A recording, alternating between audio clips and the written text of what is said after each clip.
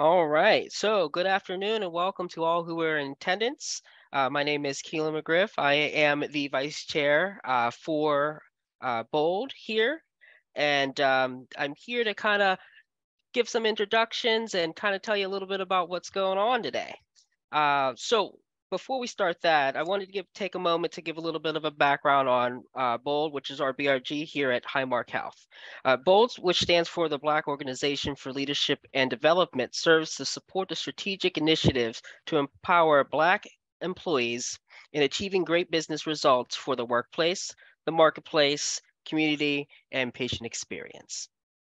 Uh, we do quite a bit of initiatives throughout uh, Highmark's footprint, I'm very excited to be part of this and the leadership team. Uh, we got a, a great presentation for you guys today.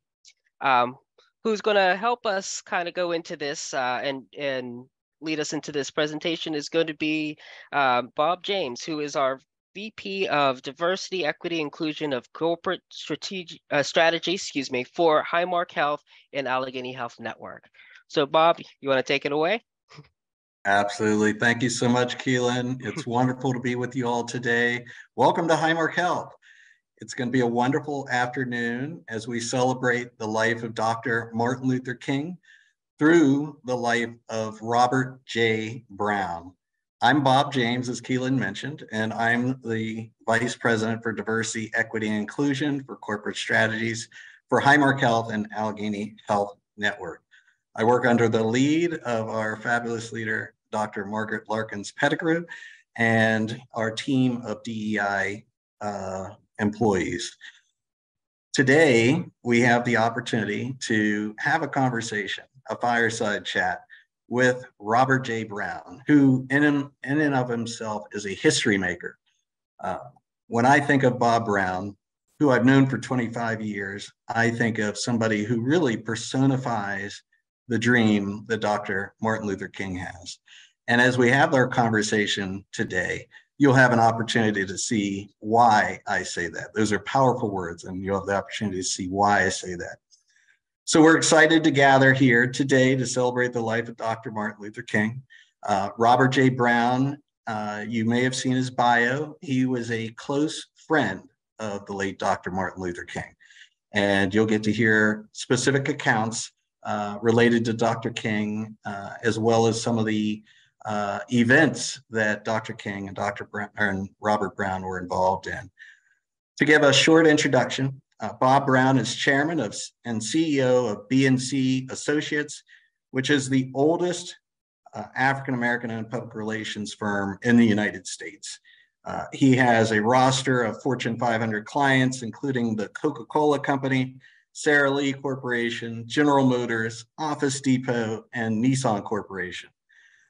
Bob Brown also has served on several on the boards of several publicly traded companies throughout his career and numerous nonprofit organizations. Continues to be vice chair for the National Urban League uh, at this time. He's received numerous awards. In 1962, Brown joined the board of the Southern Christian Leadership Conference, known as SCLC, working closely with Dr. Martin Luther King to broker a tenuous peace between business and the civil rights leaders across the country.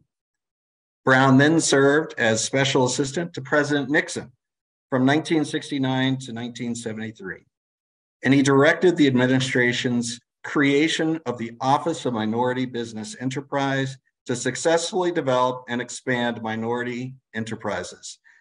During his time at the White House, Brown helped to get federal grants to Black businesses and help these business owners get greater access to lucrative federal contracts. Without further ado, let me introduce our keynote presenter today, Robert J. Brown. It's a pleasure to have you, Bob. Well, it's a pleasure to be here. Thank you very much for inviting me. Absolutely. And through today's conversation, we encourage attendees to engage by putting your questions in the chat for Bob.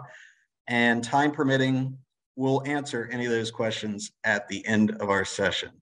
Now let's dive into the discussion. So, Bob, you're a son of North Carolina. Tell us a little bit about your family uh, and growing up in South and North Carolina, um, some of the challenges that you and your family may have faced given those uh, times that you lived in? Well, I grew up in a time when um, uh, Black people were very restricted. Uh, when uh, we uh, would go anywhere on the bus in High Point, uh, we had to ride on the back of the bus. There were no options. And uh, if you wanted to ride the bus, you rode on the back. And uh, there were many other uh, things. I mean, you couldn't go into a restaurant, and have dinner. Uh, you couldn't go to a lunch counter and uh, and get anything to eat and sit down and eat.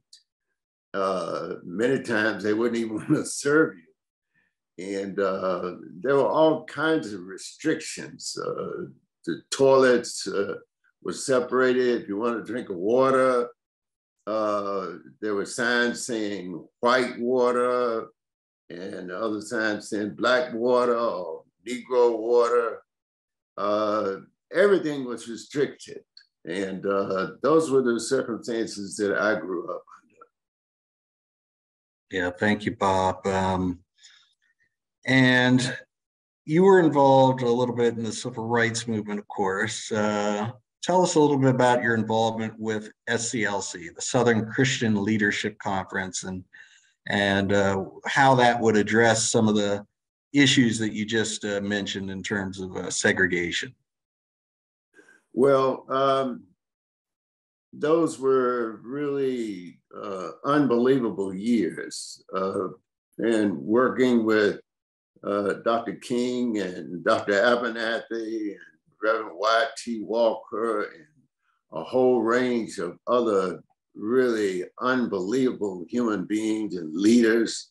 Uh, they were out there challenging everything under, under great stress and strain. Because if you went and you sat down at a lunch counter, uh, nine times out of 10, you were going to be arrested they were going to put you in jail and they might beat you or whatever in the process. Uh, there were all kinds of restrictions. I mean, just in your daily life, uh, you couldn't go in and in a, a, store where they sold clothes and try on anything like uh, people do, like they were doing then, but black couldn't do it.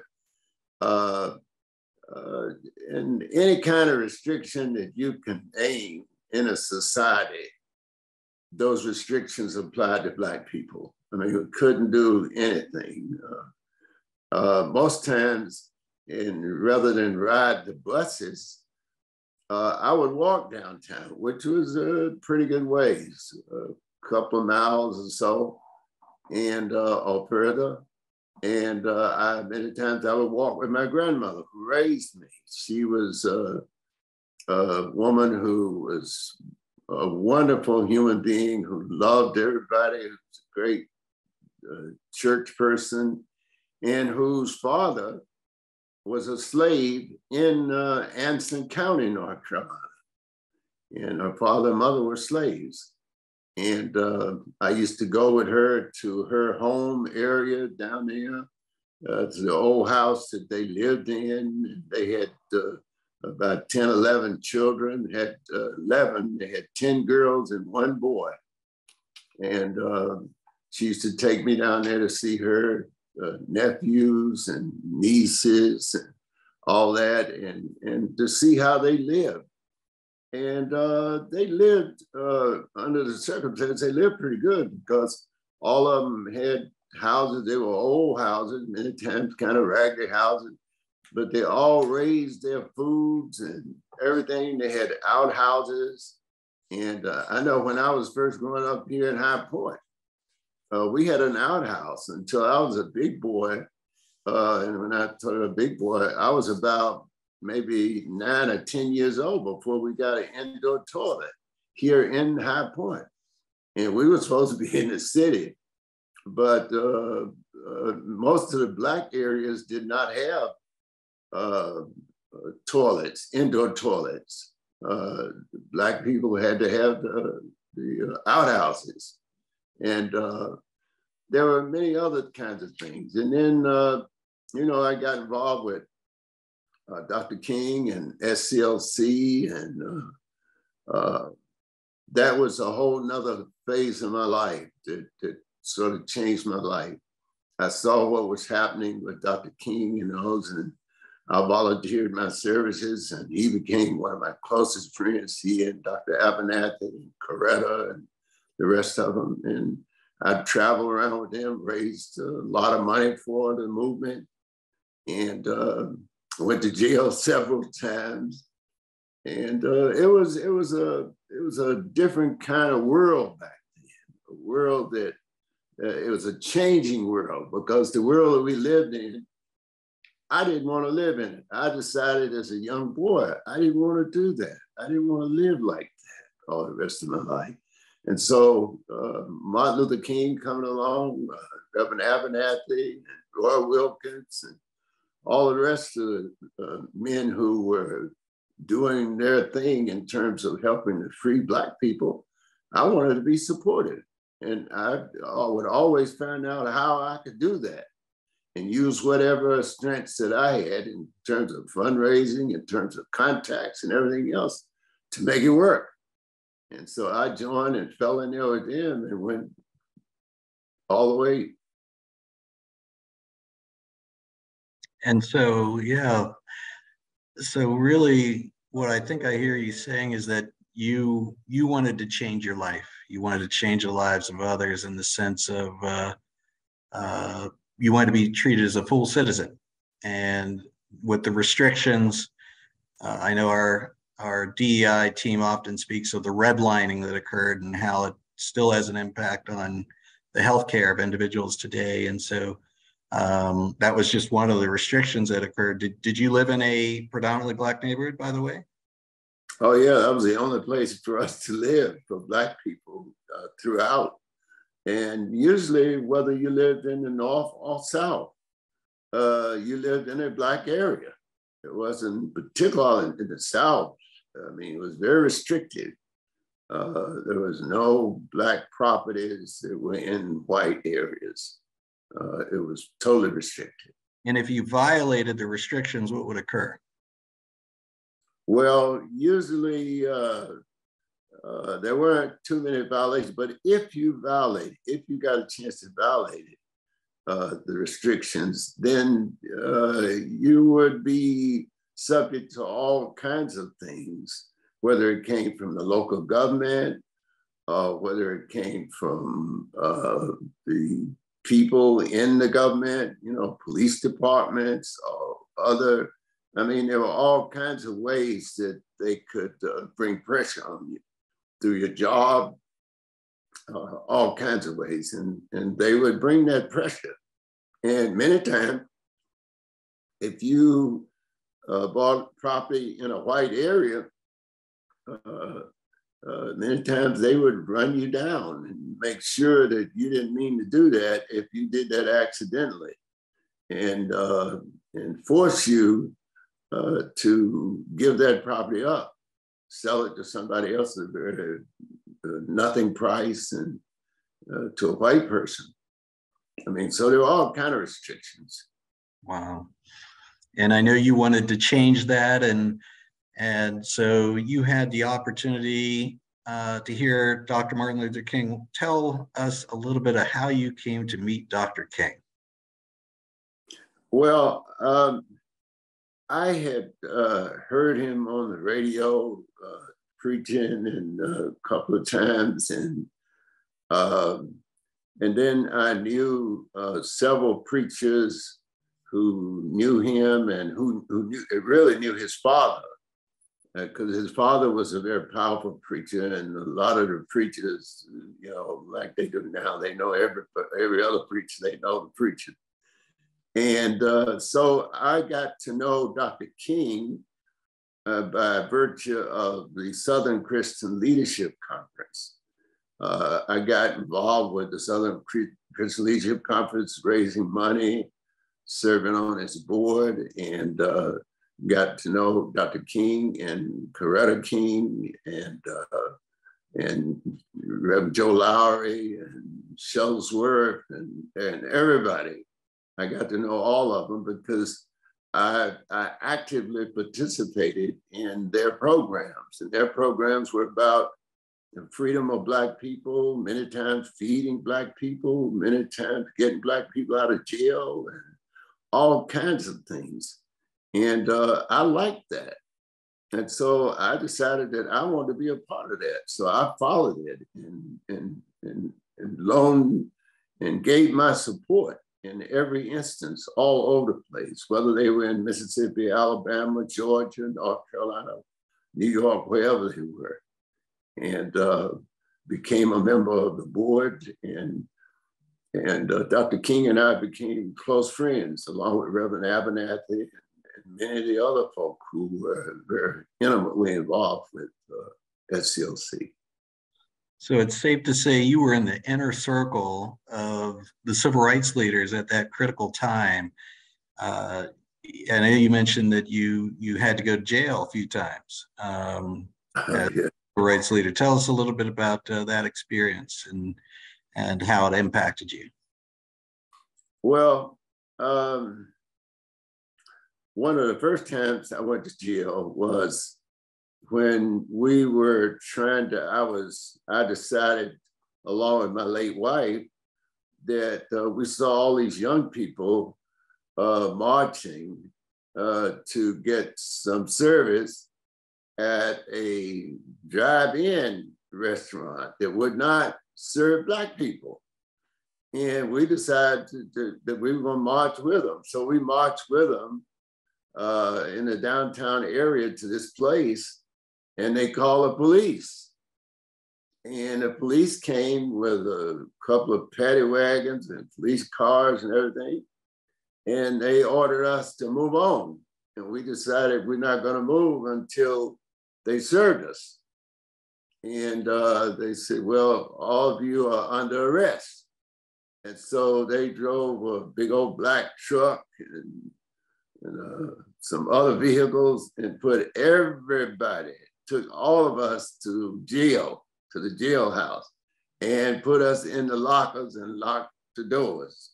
and, uh, so that, that was my first experience with jail per se. But before then, I had been a policeman here in High Point. That was my first job, right. a policeman. And uh, so it was a little bit uh, funny, me getting locked up and thrown behind bars by many of those fellows that who locked me and my wife up. I had worked with, they knew me. And uh, there wasn't any rough stuff, anything like that. Nobody was getting beaten in the head. And, but they put us all in, in buses and wagons and took us all to jail, booked all those. And I stayed in jail for maybe uh, a couple of hours until we could be, all of us could get out. And that was my first experience with jail per se. But up until that time, I had been a policeman.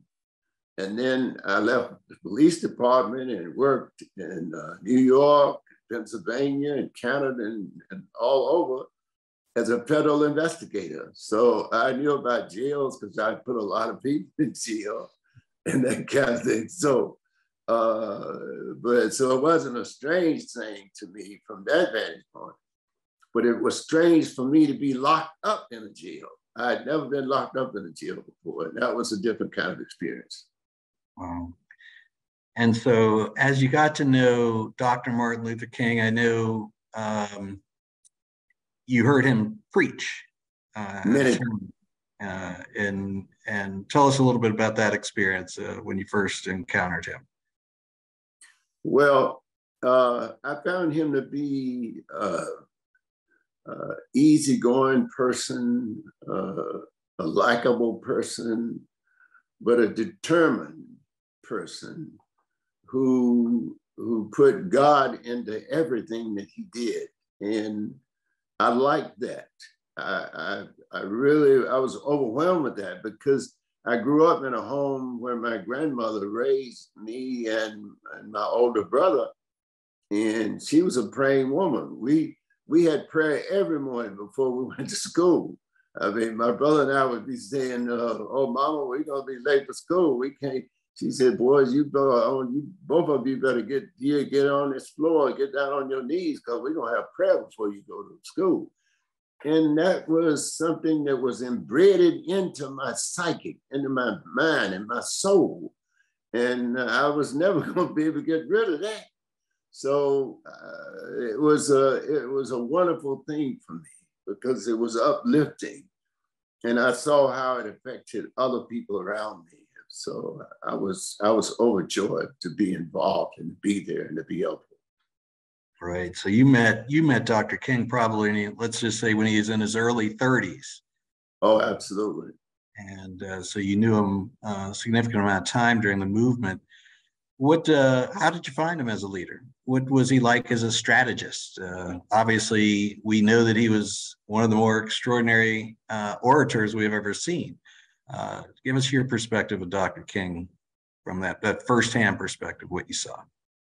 Well, he was he was a, a good person. He was innately good. I mean, there was good.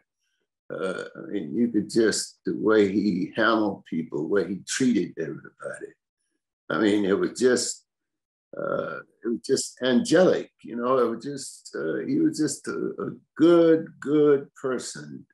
He always wanted to do something for you or help you, or, or he's trying to figure out how he could help other people. And, uh, but his overwhelming desire was to see freedom for Black people.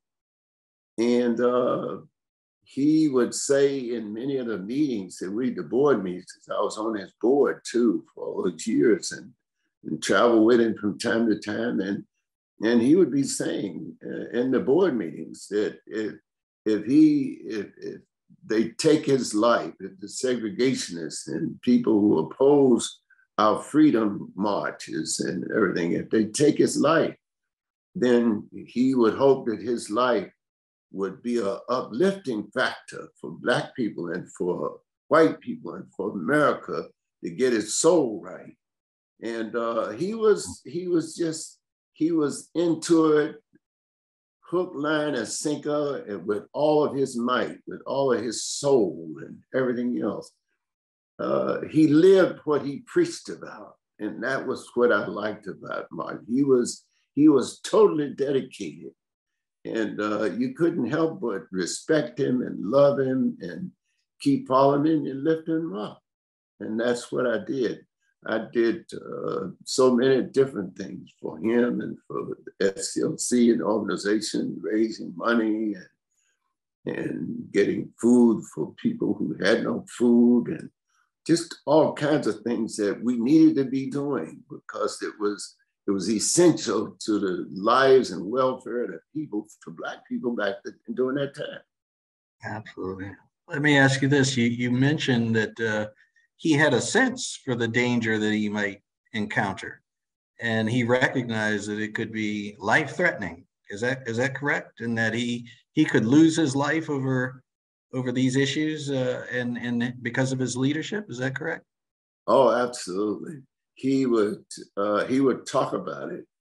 Uh, and i recall one instance where we were having a board meeting uh, in um, richmond virginia and um, he started uh, talking about how he know he knew that he was not going to uh, be a part of the movement uh, for all time.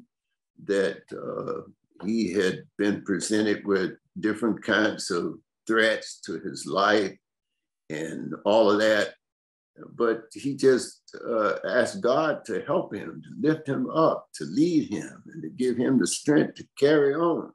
As long as he felt that he was doing his job and doing what God has sent him here to do. And I recall one time we were having a board meeting uh, in uh, Richmond, Virginia, Virginia Union University. And he started talking about this. And uh, his father uh, just was sitting there beside me and he just jumped up and started to uh, just talk about. It. He said, "Martin, please don't say any more about this. Don't don't do that." And his father just started crying and and just just over. He was overcome. And Martin asked me to walk him out and get him straight, which I did, and uh, uh, talked to him a little while and got him calmed down. But his father, I saw his father do that on more than one occasion when Martin would be talking about uh, how that he knew that he wasn't going to live forever and that, uh, you know, things would, should go on and that God was in the middle of this and that he would take us on to the promised land and that many of us had to just keep going. Don't stop. If, if he's not there keep on going. But let god lead us because he's going to take us through all of this. He's going to see us on the other side. And uh, those were times uh, that were very difficult emotionally and otherwise. Wow. Yeah. Uh, you tell us how you learned the news of his uh, of his uh, death. Um, I had been to Atlanta that day. I, in fact, I talked to Martin, and uh, he said he was going to be returning from Memphis, and uh, uh, early that morning, I talked to him, and, and I talked to him that night after he got back to his hotel, and uh, he wanted me to meet him in Atlanta because we had a lot of things that we were going over and things he wanted to do, and he wanted to talk to me about it. So he wanted to spend some time. And so I told him that I would meet him in Atlanta the next day. So the next day, I got on a plane and flew to Atlanta. And then I was there waiting on him at the office. And he calls uh, Dora McDonald, who was his executive assistant, and told her to tell me that he was not going to be able to come back. They, they told him that he want, they wanted him to speak again. That things had been so overwhelmingly successful. They wanted him to speak again that evening, and that he felt that he had to do that. So when and she told me after he called, and um, so I got on a, I went to the airport and got on the first plane back to North Carolina. So I had to fly to Charlotte, and um, when I got to Charlotte, uh, I got off the plane, and when I went in the airport, people were running all over the airport. I mean, just wild blacks and whites. I mean, just like the world was coming to an end. And I saw a skycap and I asked him, I said, what on earth is going on in this airport? Is there a problem? And he looked at me like I had lost my mind. He said, man, don't you know they just killed Dr. Martin Luther King Jr.? Oh my goodness. That was very devastating. That was one of the most devastating times in my life. And um, so I went to, I, I, saw a lot of these phones hanging on the wall, you know, these old phones. And I picked up the phone and um, I called my home. And my late wife answered the phone. She said, Robert, she screamed and she heard my voice. Where are you? What, what, what are you doing? She said, you should come home. She said, I thought you were with Dr. King. I said, Yeah, but he didn't come back. And I, I got the first plane out to come back home. And she said, Where are you? I said, I'm in Charlotte. I'm, going to rent a car and drive home. She said, Please, because people are in here, people been calling everywhere, people all in our yard, and they want to start fighting. Some want to go get their guns and start shooting. She said, You need to come home. I said, I'll be there as quickly as I can. So I went out and rented the first car I could find and started driving home. And I was driving down the road from Charlotte Airport to High Point. And I turned the radio on. and it was bedlam on every channel. They were talking about what was happening, how the riots were occurring and people were burning up this and that and the other. And I could not, I couldn't hold the tears back because I knew Martin had been killed, but this would be the very thing that he would not want. He had spent his life uh, trying to uh, take people away from the violence and so forth. And uh, so I finally got home and um, there were people in my yard, people in my house, everywhere. The phone was ringing every two seconds. And so, uh, and many people who were there were saying that they're going to get their guns and they're going to go downtown High Point and see what they could do. They're going to find these people, they're going to kill some people and all this. I said, no, we can't do that. So I organized a, a, crew of some of those people that I knew very well and told them to get their cars and let's go keep driving all over and see if we can't stop this because this couldn't be nothing but a bloodbath. And it would be, it would not be the thing that Dr. King wanted. It would be the very thing that he did not want. He lived his life in such a way that he didn't want that kind of violence being perpetrated all over, whether it was black or white. Right. so we uh, we spent the next few hours dealing with that, kind of got it curtailed to some extent. And then uh, I went back home, and uh, uh, about four o'clock in the morning, the phone rings again. The phone keeps ringing. I decided to answer. It was Dora McDonald, Dr. King's secretary. And she was saying to me, she said, Bob, uh, uh, Coretta asked me to try to reach you tell you that you need to come on back to Atlanta to go with her to pick up Dr. King's body. And that was uh, that was a very difficult time for me in my life. I'm going to pick up Martin's body. I mean, that was I can't tell you how much that hurt me. And uh, it was difficult. Were you and, able to were you able to do it, Bob? Were you able to? Oh to, yeah. Oh no, mm-hmm. I did it. I did it.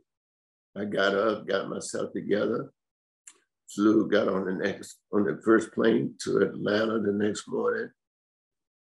And uh, I called and uh, uh, Coretta had said that I think it was Mr. Rockefeller who had to go to Rockefeller, who had sent his plane uh, to Atlanta for Coretta and whoever she was taking with her uh, to go to Memphis to pick up Martin, uh, Martin's body.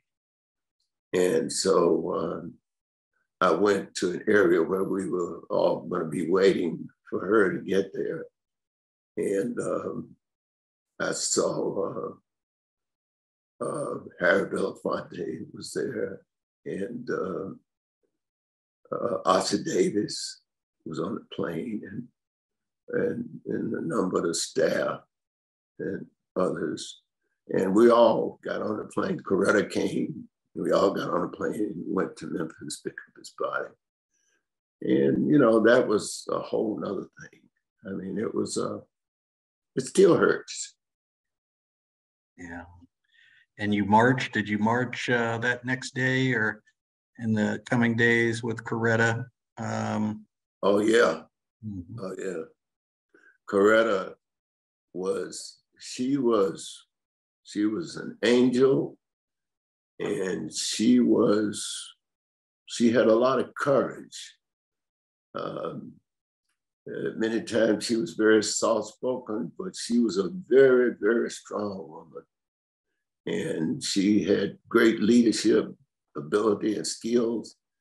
And most of us decided that we're going to stick right with her.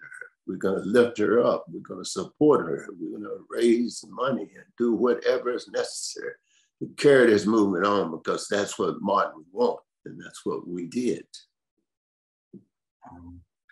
And I know you've often stated that uh, Dr. King had a trait. Um, that uh, that made him that distinguished him, uh, and that was humility. Tell us a little bit about Dr. King's humility. Oh, he had a lot of humility for a man who had gotten the, some of the greatest awards and accolades in the world.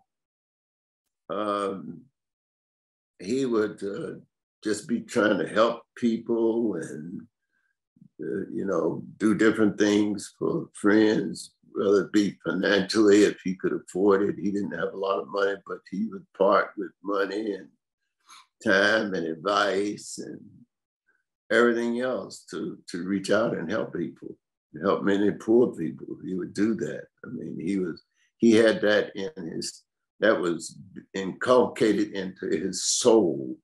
That was a part of him as a human being. And uh, he never let it go. He was always about that. I mean, we'd be out somewhere going to a meeting or, or some business situation or something else.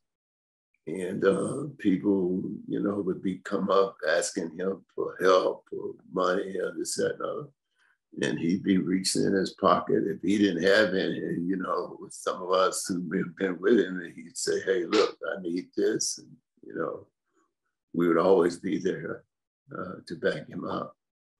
But he was a special, special kind of human being. And uh, he was a great man. But what made him so great is that not only did he believe in God, but he took God's teachings and his belief and everything else and wrapped it up and worked at it, worked at it over and over again, all over to raise people up, no matter who you were or where you were, the lowest people, the poorest people, the raggedest people, everybody. And he could elevate himself to not just dealing with the poor, but he could deal with presidents, with kings, with corporate leaders, and everybody else. He, he was sent here by God. I will always believe that. And he changed America and he changed the world because people all over America and all over the world. I've traveled to every corner of the earth, all over Africa, all over Europe, and everywhere else, Russia, China, and everywhere, Africa, everybody still talks about Dr. King, Martin Luther King Jr. He is etched in history. God has, has put him up there and it will never change. Nobody can change it, no matter how much you try. And in one of his uh, one of his sermons, he mentioned you. And for those who are in our listening audience, if you Google Robert J. Brown and Martin Luther King, uh, you'll hear some audio. You'll see a number of pictures of Bob with uh, Dr. King, but you also hear audio. And in one of his sermons, he mentions that uh, you were his secret weapon. What did Dr. King mean by that when he said, Bob Brown is my, my secret weapon? Well, I, I think uh, you know he used to he used to talk about that a lot, you know, to different people, and sometimes in my presence, and many times not in my presence, and uh, publicly and privately. Uh, he would he would constantly be asking me for advice. He would come here to High Point, where I've always lived, and um, and spend time talking and wanted advice on different things and wanted to know from me how he could uh, make the contacts and make something fruitful happen with a major company or association or something like that. And I would give him uh, my best advice uh, because he knew that I had been working and, and all of these years I've been working with some of the largest corporate people and governments in the world. And uh, I was willing to share whatever I had learned and however I learned, God had taught me how to do things. And uh, I've, I've, been fairly effective in many instances all around the world with all kinds of things. And, and he wanted to know, he would ask me directly, Bob, I got this problem here, I got to deal with this and this, that, and the other. What would you do? And uh, I would share with him uh, many things that I've learned. I said, some of the stuff I've learned, I don't think you want to do. but uh, I would share with him uh, much of what I had learned how to make things happen. And, and I would share with him my advice and counsel how he should do it. And uh, we had those conversations on many, many occasions. And I always say, you know, as we recognize some of the things that you were involved in and your vantage point in the civil rights movement, that you were kind of uh, diversity, equity, inclusion before there was formal diversity, equity, and inclusion. And uh, tell us a little bit about how you worked with with, with um, some of your customers or your clients, uh, like Woolworths, and uh, and how you were able to serve as that liaison uh, to really help them understand what was going on in terms of the, uh, the, the what the civil rights leaders were thinking about and uh, and how you bridge that gap between what they were thinking about and what the corporate uh, individuals were thinking about. Yes. Um, uh, see, uh, for all too long up until that time, now it's, it's more diversified, but back during that time, many of the corporations, uh, they weren't used to blacks marching. They weren't used to blacks coming with uh, uh, some papers to their office and outlining jobs that they wanted, outlining what they want the corporations to do uh, to help the Black community and all that, because much of that had never happened on a wide scale like it was happening as Dr. King had pressed ahead with it. And they needed counsel and guidance and so forth. So many of the companies, uh, some of the largest companies in the world that I have been dealing with and have dealt with over the last uh, uh, almost 50 years or more now, uh, uh, they needed advice on what to do because their, their footprint was everywhere in all of the cities, all the communities, all over the world. It wasn't just in New York or Chicago or Atlanta. It was in all, all over Europe, all over Africa, and everywhere else. So they needed to know how to deal with different things. And uh, uh, I would I would tell them, here's what you do. You got to get the job business straight. You got to get the business straight with uh, Black entrepreneurs that's growing out there. You got to get the, the, the education piece straight now. that there are many Black colleges and universities that don't get any help from corporate America. They need more help. They need the kind of help that you can give them. And there, there are just numerous things, there still are numerous things that, that, that could bring, help bring America together. And that's what we need. We need more of that, more and more every year. That's what's going to save our country and save our world. And so I would have those kind of discussions with Martin all the time of what I was doing and what I had advanced to different companies to do. And, and, you know, just in terms of feeding people, I know when, when, uh, before he died, he had started a Poor People's Campaign in uh, in Washington, as you recall, and uh, uh, he wanted to know from me what he should be doing, and then all of a sudden he's he's killed. But uh, I uh, uh, Ralph was there and a number, Andy Young and the rest of us.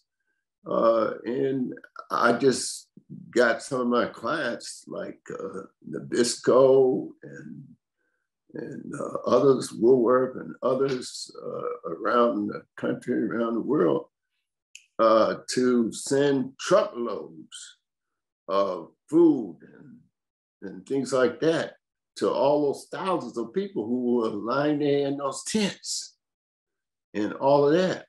Uh, food and water, bottles of water, and truckloads of food and everything else. Because uh, I knew that that's what Martin wanted. That's what he was. That's what he was trying to do. And uh, it was, and I felt it was my job to follow through on that, not to lay around and say, "Well, Martin's gone now, so we're not going to deal with that anymore." and Andy Young and all of them just jumped in the middle of this and kept it going. And uh, I worked with them and everybody else who was up there uh, to make sure that those people got a fair break. And I'm going to open up questions in a moment. I want to ask the question because you were on the front lines of of uh, ensuring that there are voting rights for all in this country, and you had an opportunity to see um, the first black president.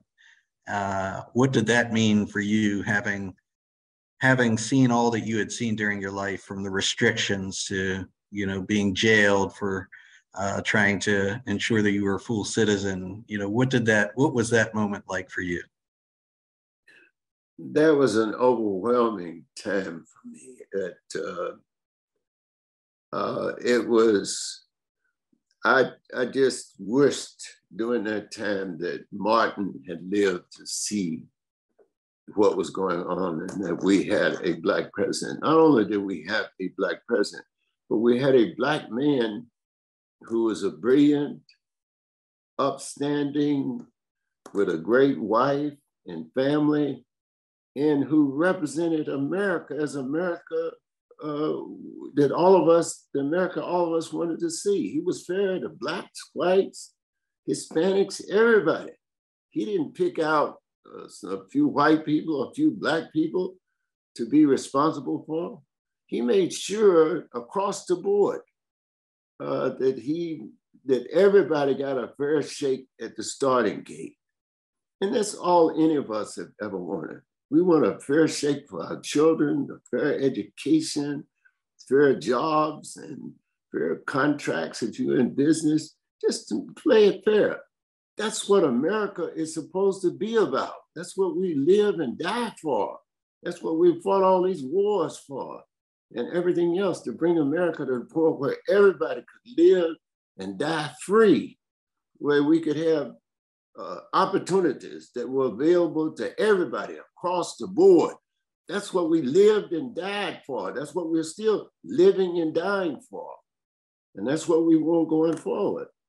And, uh, you know, most people now uh, uh understand that. We still have some people who forgotten about that, but most people still understand that and that uh, we're not going anywhere. We're going to press forward and go with that. Go with Martin's dream and all of the rest of the fighters who fought and died for this. And uh, that, that's what it's all about, that everybody gets an equal share at the gate. Thank you. And we have a question in the chat that kind of relates to what you just said. Uh, it says from Angela Reed Davis, what are your thoughts about where we are as Black people today based on the struggle and the dream that Dr. King, you, and others fought for? Well, I think that we made a lot of progress. Uh, but I think that we got to uh, fight a little harder uh, just so that the young people who are coming behind us can understand the dynamics of what needs to be done and will dedicate their energies and their lives to making this a better country for everybody, blacks, whites, everybody. And in order to do that, you got to work at it. You can't be hanging on the block smoking weed and, and uh, uh, smoking dope and everything and uh, just hanging out, talking junk you know, that's not weird. That's not what it's all about. It's all about making sure that everybody has an equal job opportunity, that everybody has an equal chance to start and gate in terms of education, that everybody can, can move forward together, that our children have a chance to go forward and to do whatever they want to with their lives, black, white, blue, green, whatever. And that's what Martin lived and died for. And that's what we we have to project that and we have to move that that whole thing ahead. We can't just sit around and, and scratch our head and wonder. I wonder, I've heard some people say, well, you know, a lot of these young people so bad now you can't do nothing with them. Well, you can't do something with them. They always been, some of them been bad. You know, they were bad when I was growing up all those years ago. Many of them were bad. but we worked our way through it and we still have to work our way through it because you know everybody's not going to be right all the time. And then those people in the street not going to be right all the time. You have to work at it. We have to get our community straight our organization straight. We have to we have to work with each other and keep be vigilant all the time. See we can't go to sleep. Many people go to sleep. They say, well, Martin Luther King, you know, he did this and that and the other. Everything's all right now. We can go in a place and eat in a restaurant and everything. But there's so many things that we need to be uh, together on. We need to be fighting for and going forward with. You know, Absolutely. that's what we need to do. And and you have a, a question that relates to that a little bit from uh, our um, Senior Vice President for Communications, Fred Ramos, asked, Mr. Brown, what do you see as the key two to three things we need to do today to help bring our country more closely together to overcome our social, political, and economic divide and to come together as one America uh, versus many Americas? And you're a bridge builder, so I, I know uh, you're the perfect person to ask that question to. Well, we have to uh, we have to go back to to get us to what got us where we are now. See, we're a long way from the times that Martin Luther King started SCLC and did all of what he did. We're a long way from that. But in many instances, we haven't gone as far as Martin wanted us to go. Mm. Uh, we haven't just buckled down and gotten in the middle of a lot of things our corporate community needs to be more and more involved with different things that are going on. Many corporations have done a great job, but they haven't gone far enough. They haven't gone deep enough, and they have to do that. This is America. This is our America. This is not uh, Russia's America or Chinese America. It's America. It's an amalgamation of everything and all kinds of people. And we are the greatest country on the face of earth. And we have to act like it. We have to act like we are God's children, that we're going to help people who are hungry and who are poor and who want to do something with their lives. We have to lift them up. We have to keep doing this. That's what Martin Luther King Jr. was all about to eliminate discrimination and segregation and all that. That's all fine. But there are many other aspects to all of our lives, white and black, Jew and Gentile, all of us, where we have to bring it together and we have to work on that. It's not going to come by all of us sitting around acting nice and treating each other nice. We have to get out in the vineyards. We have to have these organizations who uh, form to do these kinds of things and work with them help them and the corporations have a strong role in all this to make sure that what they're doing is the right thing to do and to work with different groups of people and different experts out here who have been involved in these communities. You know, sometimes we, many of us have gone to sleep, and I'm not just talking about the corporations and the, and, and just uh, uh white people, black people, many black people going to sleep. Black organizations are going to sleep you know, they don't, you know, you don't see the kinds of involvement.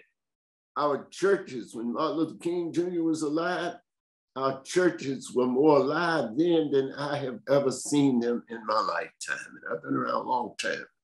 They, the companies more involved, everybody more involved, our, our uh, other organizations, political organizations we need to we need to gather in and, and wrap our arms around each other and, and be everybody ought to be fighting for that front line position where we're we're going to be the best at doing what we need to do not just for ourselves our, our uh, country but what god wants us to do with our lives and with what he has given us.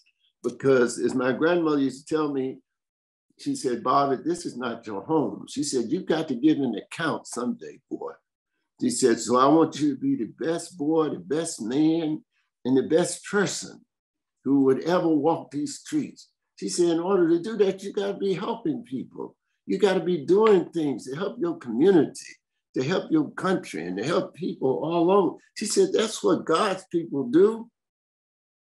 And that's, we are all God's people. We forget that some of us think that we are God because we've made some money. We have a little power in the organization. We have some authority. All of us have gone to another, another realm at some point. Yeah. Bob, I want to I want to take this moment. I know we're growing close to our end, but uh, I want to take this moment to thank you for sharing with us today your memories of Dr. King, uh, some of the accounts of your life of, of American history, and uh, giving us a sense for some things that we could do better. Uh, I appreciate it. And I think our Highmark Health and the others on our call who uh, joined us today uh, thank you for everything that you shared with us. You're an American hero. Uh, you're a history maker, and and you're a wonderful friend. Thank you for the invitation, and God bless everybody. And I'll turn it over to Keelan. All right, that was really, really such a, a moving, you know, powerful, invigorating type of uh, presentation chat. I mean, you know, it, I know I talked to you last night, but this was it still gives me chills just listening to these stories, you know, and and allowing myself to to live through history and live history through your your lived experiences. So I, for one, I want to thank you so much because you know, for an individual like myself going through and doing what I'm doing, you know, it's only just it energizes me that much more, you know. Um, so thank you all for absolutely attending this this great presentation today. Uh, you know, I, I know that there was so many questions. Everybody's looking for like a part two, but um, you know, thanks for attending. This was a great presentation. Um, I would be looking out for a lot more things that are going to come down Bold's pipeline uh, when it comes to Black History Month. Uh, when we're looking at education on you know, uh, Black Greek life and it's important in history uh, and why um, it's important for uh, Black individuals looking at highlighting some of our um, our leadership uh, and, in the roles that we have here throughout Highmark's uh, footprint and a couple other events that are going to that are going to be great. So please be on the lookout for the flyers and things like that and and come and join us for black history month as we celebrate black excellence and again also celebrating another new hero for ourselves bob. So thank you all for t- attending. Thank you very much